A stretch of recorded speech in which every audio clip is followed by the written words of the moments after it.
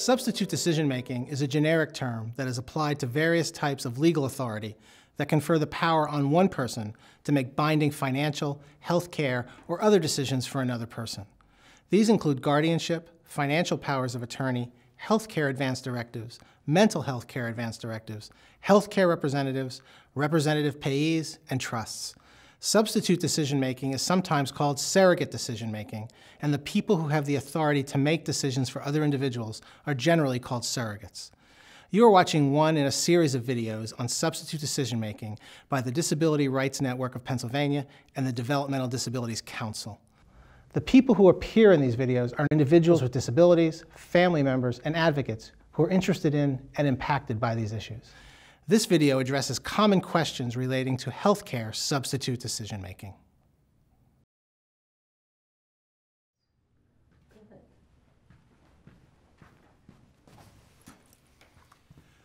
Hello, everybody. Thank you for coming. My name is Mark Murphy, and I'm an attorney with the Disability Rights Network of Pennsylvania. And we're here to talk about substituted decision making in the healthcare context. Uh, that's a, an important area and one that is likely to impact uh, all of us at one time or another in our lives. So it's important that uh, we all have good information so we can make the best decisions when it comes to healthcare decisions. So um, why don't we get started? And who wants to ask the first question? Do people with cognitive disabilities have their own right to make their own healthcare decisions?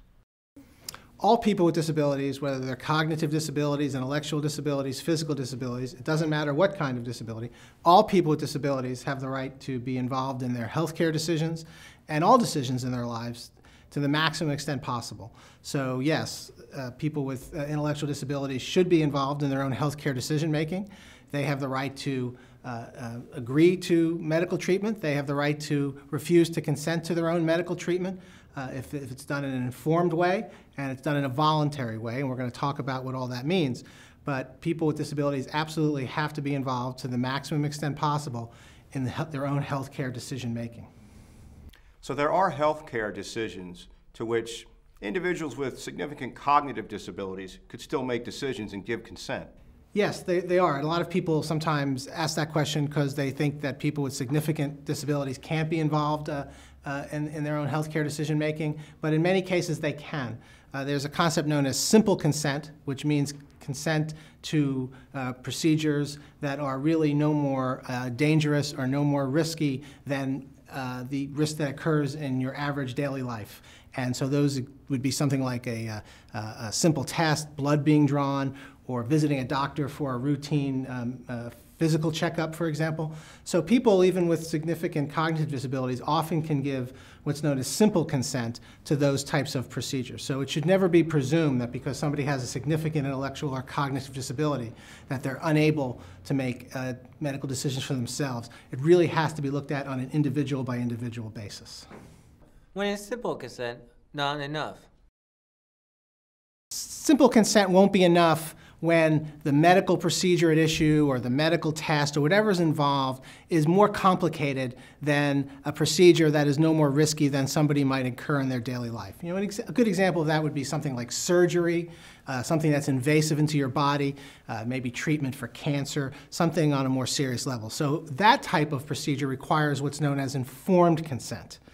And informed consent means that the individual with the disability after being told uh, the, the, risks, the benefits, the alternatives, all the necessary information is able to then um, make a decision. And that would be required after, for example, the information is given to them in a way that they understand, in language that they understand. Uh, the concepts, if possible, are uh, simplified if that's what's necessary. But informed consent is a higher level of consent than simple consent, and therefore it's necessary for uh, more complicated types of medical procedures. How do you know if a person is able to give informed consent? Well, again, what happens is the medical provider will sit down with somebody and using any types of uh, necessary changes in language, any type of communication support that the person might need, explains to them in a way that they're best able to understand uh, the risks that are involved, the benefits that will come from the medical procedure. Are there alternatives that need to be, that need to be looked at? Uh, and after all that information is given to the individual, then a decision is made about whether the person can give informed consent. And a, and a way to measure that is, is the individual, for example, able to communicate that information back to the healthcare provider? Again, using language that they're comfortable with and using any supports that are necessary, is it clear that the person is making that informed choice, that they do in fact understand the risk, the benefits, and the alternatives? Can an individual be capable of giving informed consent sometimes, but not others? Well, that's a good question because a lot of people think, uh, you know, consent is all yes or all no. And in fact, depending on the individual, there are many things that you may be able to give consent to, and not just simple consent, as I've said. Even in the informed consent context, obviously some medical procedures are more complicated than others, and some are very complicated, and we have a lot of um, information that needs to be Im imparted. But basically, an individual has to be looked at on a case by case, decision by decision basis. And so a person with an intellectual disability may be able to give informed consent about some medical procedures and not on others. And that's why it's really important that the communication is done properly and that the healthcare provider and any other people in that person's uh, support circle is able to sit down with them and give that information in a way they understand. Because again, on a decision by decision basis, sometimes people will be able to give consent and not others. And going back to what I said right at the beginning, it's important that people with intellectual disabilities be as involved in their medical decisions as possible. And that means that they're going to be able to give consent to some and not others. So, what you're saying is that there's no diagnosis, such as intellectual disability, that makes a person automatically ineligible to give informed consent. That's right. You should never, uh, no one should ever assume that because somebody has a particular diagnosis or a particular label of intellectual disability, that means they're incapable of making medical decisions. And if, and if you hear that from a healthcare provider or others, you really have to um, uh, push back and you really have to say, wait a minute, the fact that somebody has an intellectual disability doesn't mean they can't uh, give consent. It has to be looked at decision by decision, case by case, person by person. So if a person with significant cognitive disabilities cannot make a decision about their health care, how will decisions be made? Well, that's where uh, substituted decision making comes in. And so there are going to be people who can't make any decisions. Uh, there are going to be people who can make some decisions and not others, and there are going to be people who can make all sorts of decisions. So, for the group of people who can't make some decisions, uh, the law has set up a process and a system by which substituted decision makers are, are named and are able to make decisions for them. And in the healthcare context, they come in basically three areas.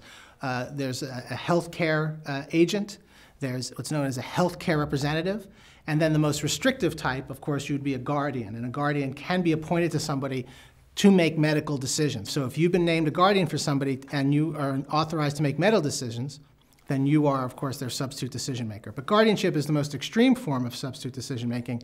And in the healthcare context, there are less um, invasive, less formal mechanisms by which to provide substituted decision making. As I say, the Healthcare Advance Directive, Healthcare Agent, and Healthcare Representative. What exactly is an Advanced Healthcare Directive? An Advanced Healthcare Directive is simply a written document in which you set forth what medical decisions you want made for you in the event that you're unable to make those decisions for yourself, and you get to name who you want to make those decisions for you. So you sit down in advance while you're capable of making these decisions and say, in the event that something happens to me and I'm unable to make my own decisions, maybe I'm unconscious, uh, uh, maybe I'm at, at, the end of life um, and I'm unable to make decisions, then here's what I want from me. Here are the type of procedures I want, and importantly, here are the type of procedures I don't want. And you write that out and you list it in, in a very straightforward way, and then you name somebody who's your healthcare agent to implement those decisions for you. And so it's a very effective tool and one that we all should have, whether you have a disability or not, because you just don't know when you're going to be in a situation where you're unable to make decisions. So everybody uh, should have a healthcare advance directive because the law allows you to decide for yourself what decisions you want made in the event that you're unable to make those decisions for yourself. What is the difference between a living will and a power of attorney? There are two different documents that deal with two different stages of people's um, medical situation.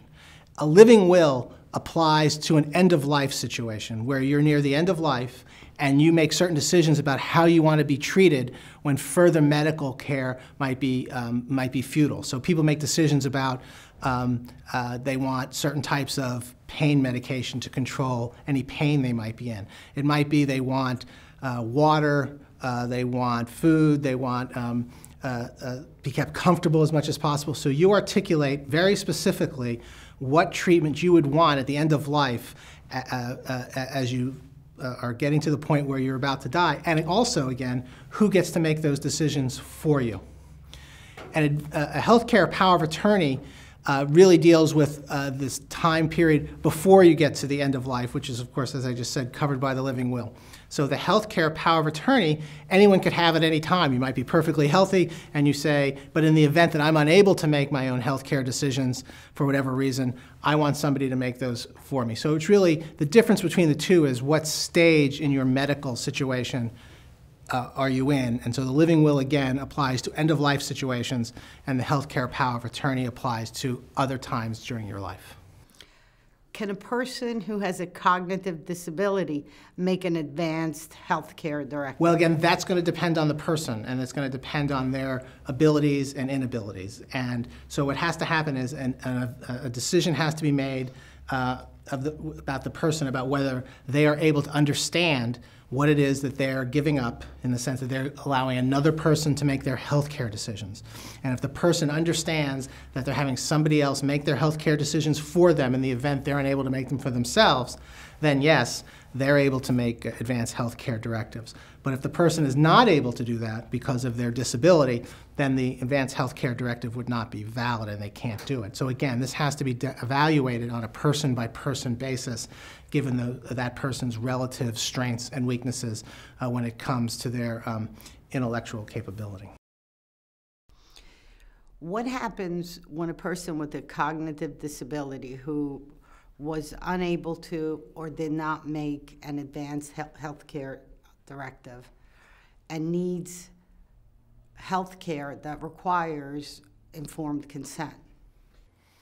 Well, that's a good question because uh, until the last few years, uh, there weren't any other options besides the Advanced Healthcare Directive, which a person with intellectual disability might not be able to do, and guardianship, which of course can be an expensive and drawn, drawn out legal procedure. So a few years ago in Pennsylvania, a new law was put into place. It's called Act 169. And under that act, they created something called a healthcare representative.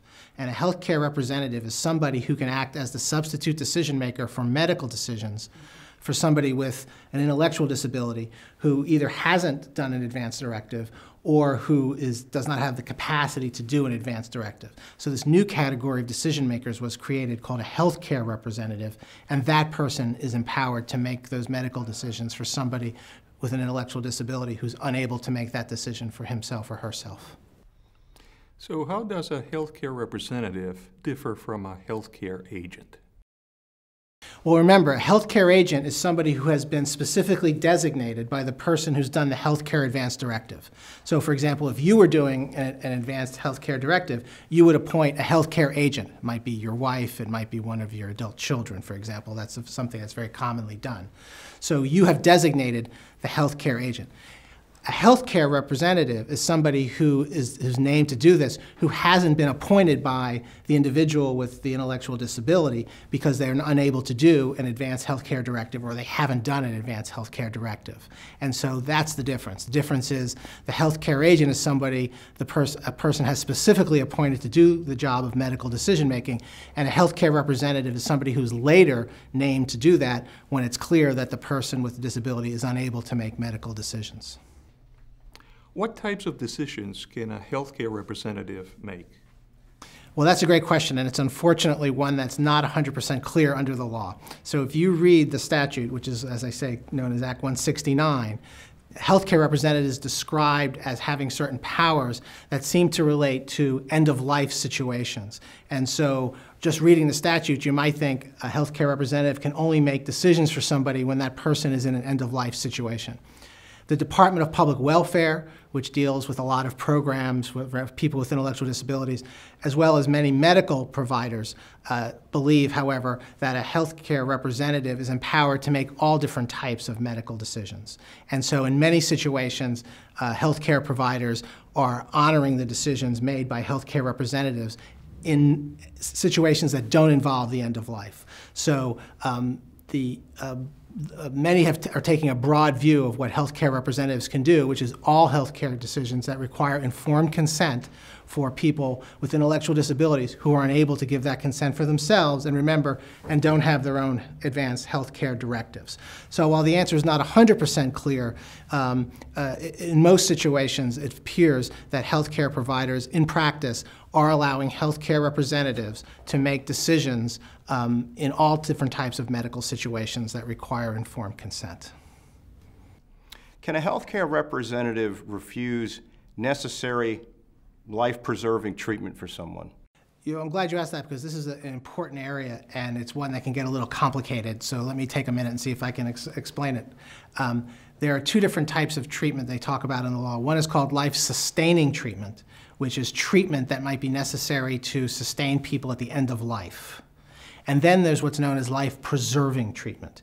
And that's treatment that people might need, uh, but they're not an end of life situation, but they need it for their medical care. And if they don't get it, they could deteriorate and become either very ill or ultimately die.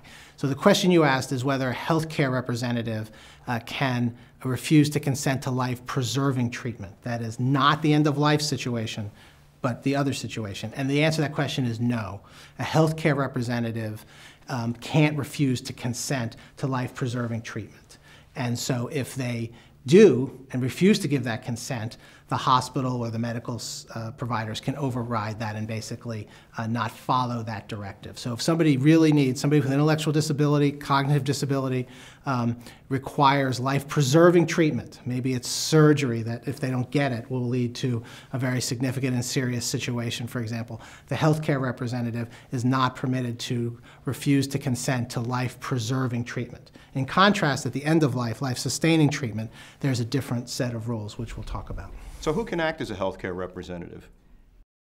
Almost anyone can be a healthcare representative, and what the law does is create essentially a hierarchy of people who should be asked to be the healthcare representative.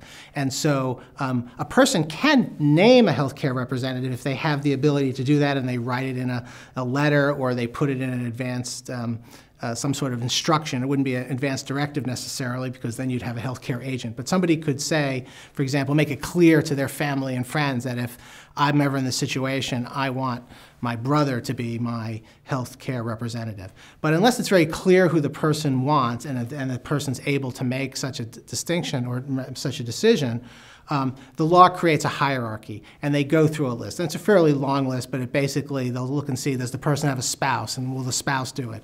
And if that won't do it, does the person have adult children, and will that person do it?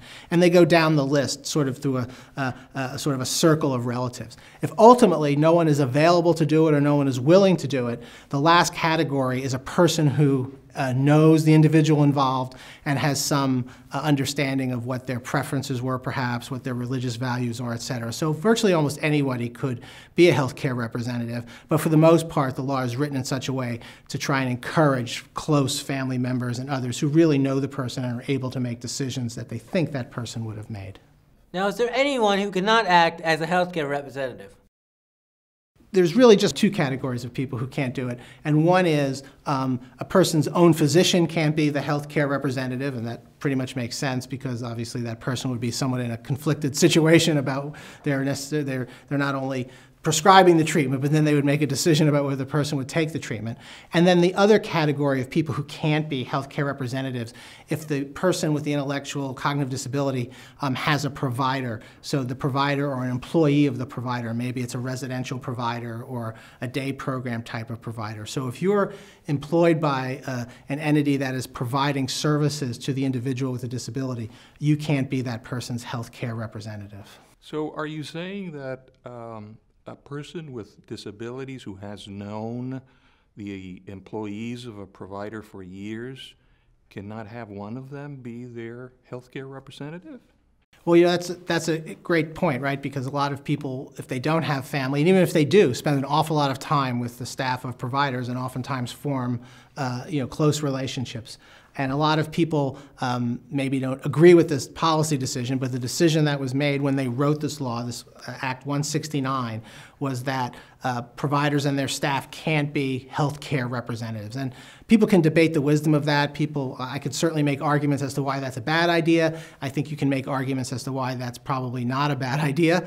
Uh, but the reality is, is that the way the law was written is that the providers and their staffs are just not eligible to be a healthcare representative, and so that decision has been made.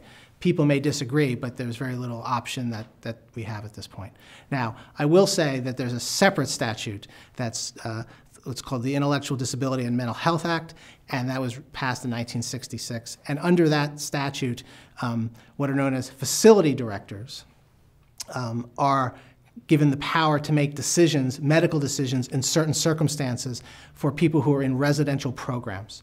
And those uh, folks have to um, not have anybody else who can make decisions, and there have to be at least two independent doctors who are recommending a particular course of action. And so if there's nobody able to make that decision, uh, the uh, Mental Health and Intellectual Disability Act does empower these facility directors to make the medical decision.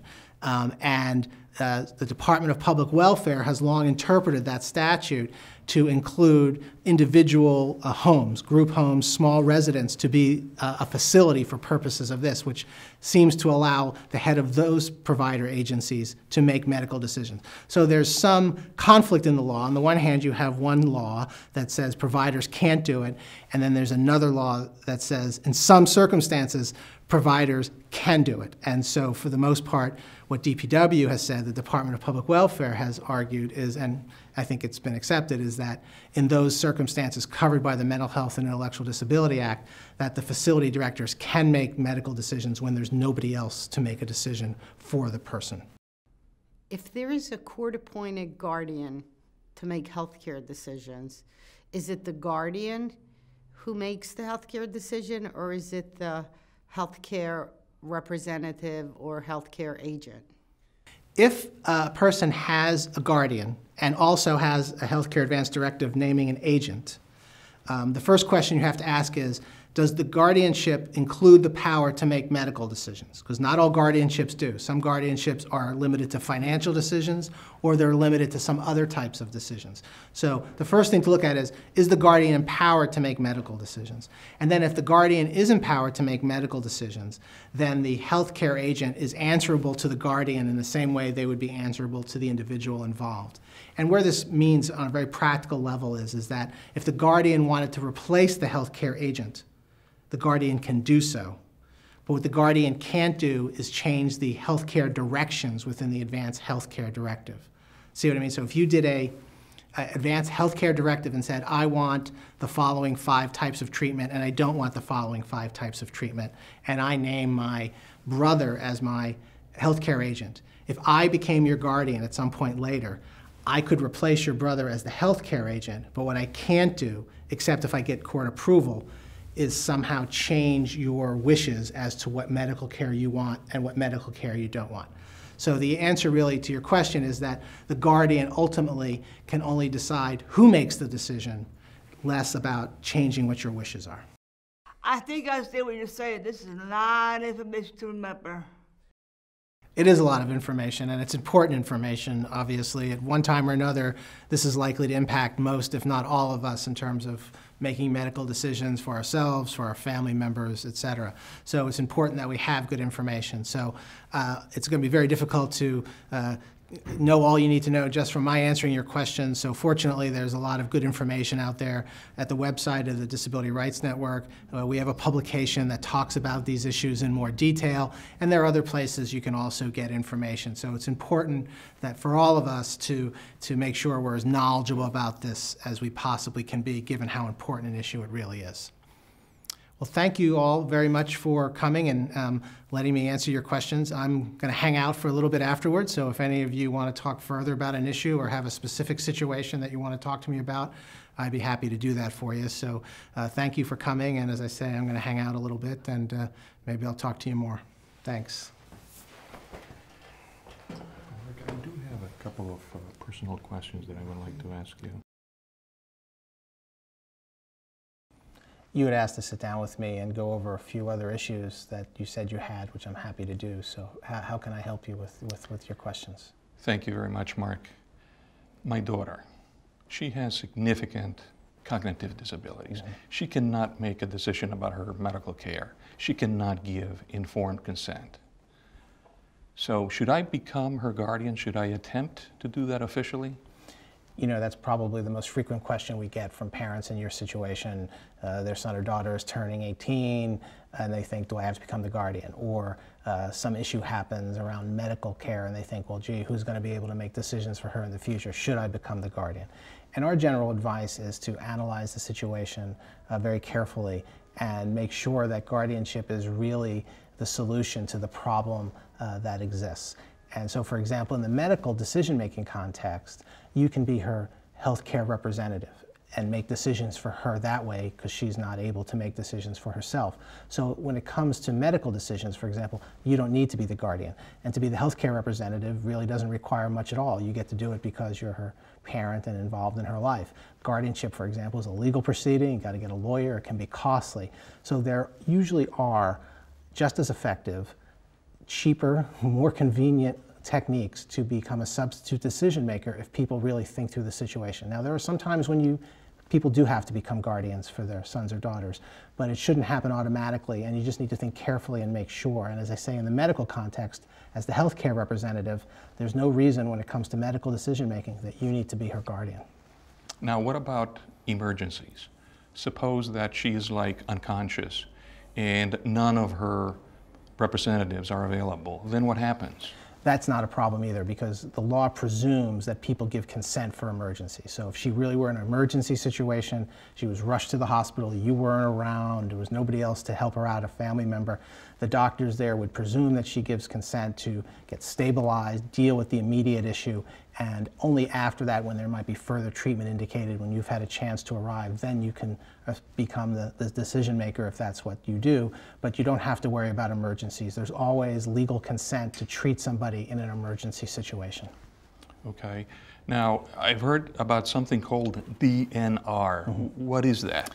A DNR is a do not resuscitate order. And what that means is that the person who issues the DNR order is basically saying that in the event that I go into cardiac arrest and I don't want to be uh, resuscitated, I don't want the EMTs who come to help me to actually help me.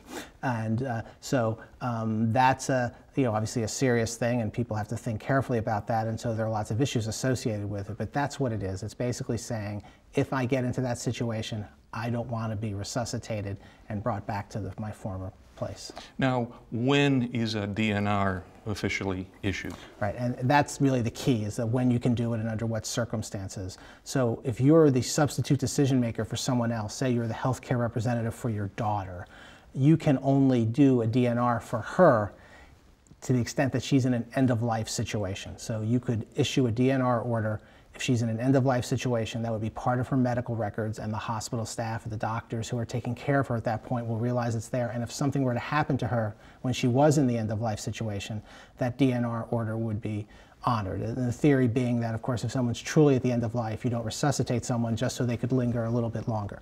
However, if she's not in an end of life situation, if she's living her life normally and, and is just going through life as all of us are, you as the substitute decision maker are not allowed to issue a DNR order for her in that situation. It has to be in an end of life situation. Well, that was a very helpful explanation. I think I understand things a little bit better. Mark, thank you so much. Thank really you. appreciate it. Thank you. If you have additional questions or need more information about healthcare decision making or other types of substitute decision making, please visit our website at www.drnpa.org to access DRN's guide, Consent, Capacity, and Substitute Decision Making, as well as other videos in this series.